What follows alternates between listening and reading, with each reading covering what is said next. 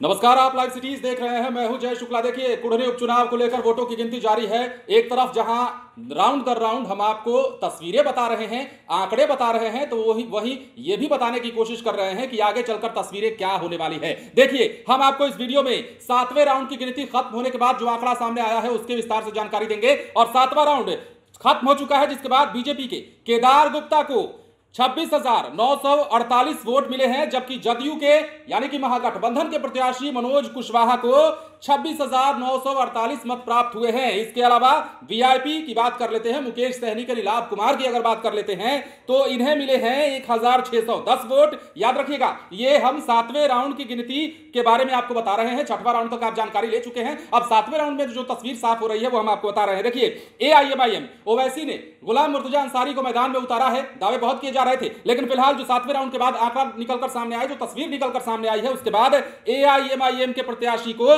एक हज़ार चार सौ बहत्तर वोट प्राप्त हुए हैं। एक बार फिर से यह आंकड़ा सुनिए। सातवें राउंड की गिनती खत्म हुई है और सातवें राउंड की गिनती खत्म होने के बाद मनोज कुशवाहा, जो कि महागठबंधन से हैं, उन्हें मिले हैं तेईस हज़ार तीन सौ बारह वोट, जबकि बीजेपी के केदार गुप्ता को छब्बीस हज़ार नौ सौ अड़तालीस वोट मिले हैं। मतलब यह हुआ कि तीन हज़ार छह सौ छत्तीस वोटों से मनोज कुशवाहा पीछे चल रहे हैं। बीजेपी के केदार गुप्ता जो है, छह तीन हज़ार छह सौ छत्तीस वोटों से आगे निकल चुके हैं। देखिए सातवें राउंड की बात हम आपको बता रहे हैं। अभी तेईस राउंड की गिनती हालाँकि लगातार बढ़त बनाए हुए हैं। बीजेपी शुरुआत से ही अगर देखें, पहले राउंड की गिनती से ही अगर हम देखें तो सिर्फ़ और सिर्फ़ अगर पाँचवें राउंड को छोड़ दिया जाए तो छठवें राउंड, सातवें राउंड या शुरू से जो भी जितने भी राउंड की गिनती खत्म हुई है उसमें बीजेपी की बढ़त बरकरार रही है। शुरुआत में फासले ज़रूर कम थे, लेकिन जैसे जैसे चक्रवार गिनती होती गई, राउंड दर राउंड गिनती होती गई वैसे वैसे तस्वीरें बदलती गई और यह भी सामने आता गया कि फासला कितना बढ़ने लगा है। देखिए, अब यह फासला बढ़ गया है। तीन वोटों से बीजेपी के केदार गुप्ता आगे चल रहे हैं। मनोज कुशवाहा पीछे हैं।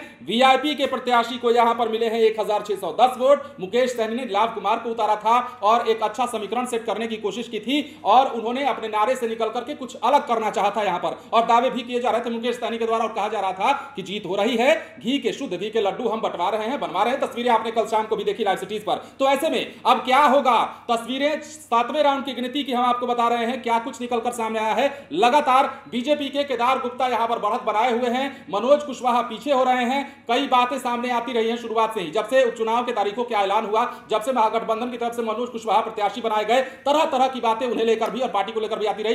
नीतीश कुमार और तेजस्वी यादव भी प्रचार करने गए थे और उन्होंने कहा था कि कुढ़नी जो है, ये हमारी सीट है और हम ही जीतेंगे। लेकिन अब जब नतीजे सामने आने लगे हैं तो किसके पाले में गेंद जाती है यह भी देखना होगा। और यह भी देखना होगा कि यह सातवें राउंड की गिनती खत्म हुई है। आठवां, नौवां, दसवां, ग्यारहवां, कई राउंड की गिनती बाकी है और आगे क्या तस्वीरें साफ़ होती है, वो भी हम आपको बताएँगे। बने रहे लाइव सिटीज़ के साथ।